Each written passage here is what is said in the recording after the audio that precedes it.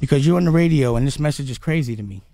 You're saying because you enjoy music or being a, a DJ, you enjoy having a boss. If you enjoy being a DJ, just why don't you own your own radio station and then DJ for your own radio station so your son can just get on anytime he wants? Like literally, like if you have a passion of what you do, whether it's DJing, whatever, make a business. Make it a business. You know what I'm saying? Run a business. You know what I'm saying? Don't just, oh, uh, you know, I'm gonna be a, I'm gonna be a DJ. Yeah, but later on, run a bit, bit DJ business. Like literally, you can still DJ every now and then, but don't try to, you know what I'm saying? Be lazy. Don't be lazy. Literally.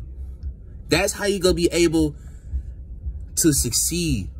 What I'm saying, if you have a passion for something that you do, like I said, whether it's DJing, football, baseball, basketball, you know what I'm saying, or anything, run a business. Or even a, uh, or even being a doctor, whatever, run a hospital. Know what I'm saying? Like literally. Do not be lazy. Don't. Literally. Know what I'm saying? For real, man. Don't nah. You gotta to cause the only cause the, the objective of of of what you do is to make it a business and run an empire with it. Run a DJ empire.